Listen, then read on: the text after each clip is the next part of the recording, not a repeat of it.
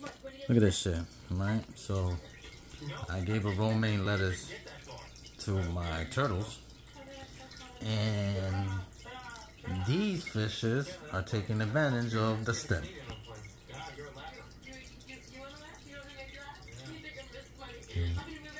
I can't believe they're trying to eat that. I don't know if they can. I don't know. I see how break breaking off pieces. I think I should take that shit out. Just a stick. Oh, they all broke up. No, no, no. They're coming back for it. They're like, there's something left on there. Mm-hmm. Oh, we go. the evolution of life. How it works. Look at the guys right there. They just chilling. That's that's her right there. That's Buttercup, and then Hulk is back there. I guess.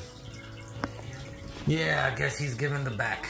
Let me see where he at. Yeah, he's giving the back. He's he's right there.